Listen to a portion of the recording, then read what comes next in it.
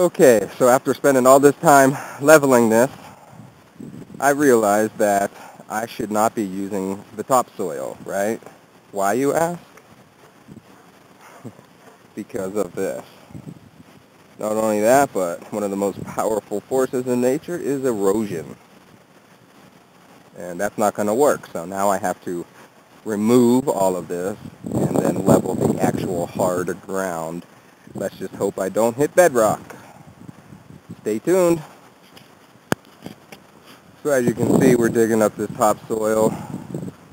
Gonna move it on out. It's a lot of work. We're going to have to go down another half a foot, if not a foot, on some parts over here. We got all weekend. This is Friday, so just going to burn through this top layer today and then uh, hit it in the morning.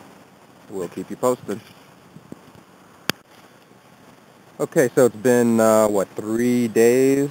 My wife and I have been working on this. Uh, I know you're probably saying it doesn't really look like it, huh? But um, we have all been doing this all by hand.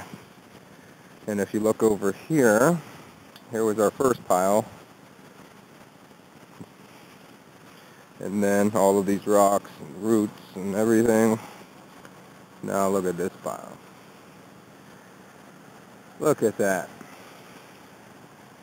That's a lot of dirt. And to be honest,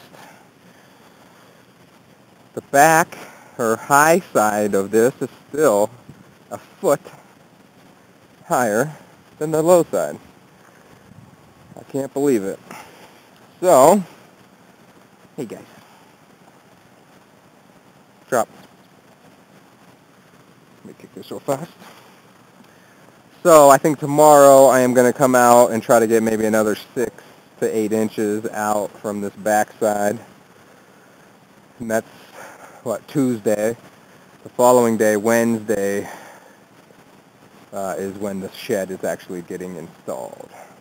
The reason why I know that this is not level is because I think I've figured out how to use that guy, which is probably unnecessary, but comes in handy. Um, yeah, that's a good look at it there. I Guess there is quite a bit of dirt on.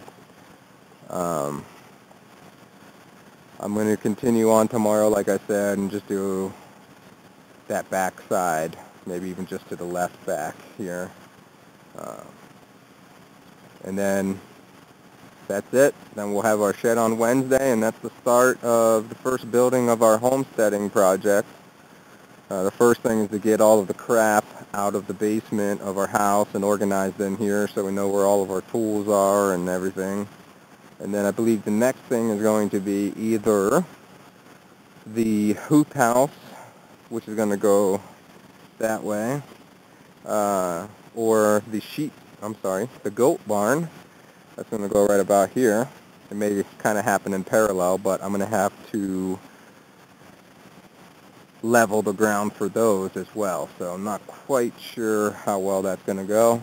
Um, keep you posted. Uh, if I do more digging tomorrow, which I believe I will, I'll show you a final image of the land before the building actually starts getting erected on Wednesday. Talk to you guys later.